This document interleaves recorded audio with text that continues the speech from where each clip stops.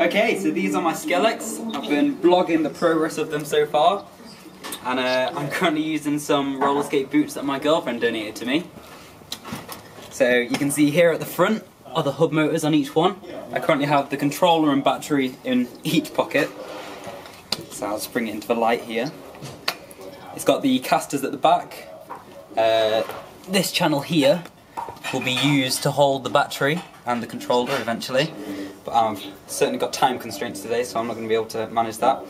I've got my controller with a little splitter and two 3.5 millimeter cables that go to each controller, and this allows me to control the speed. It's got 5 volts coming from just one of them, so the other one shares that.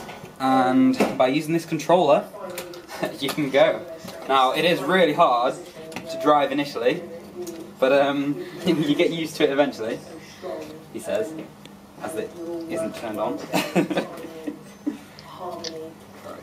there we go. So, you got to start really slow or you'll fall over as well. The time thing now is highly positive. And then just to confirm, you did play about 15 minutes, so I'm on 30 minutes after.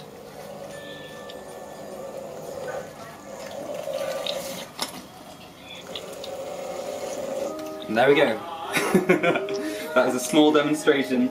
It'll be better in the daytime, I'll put it that way.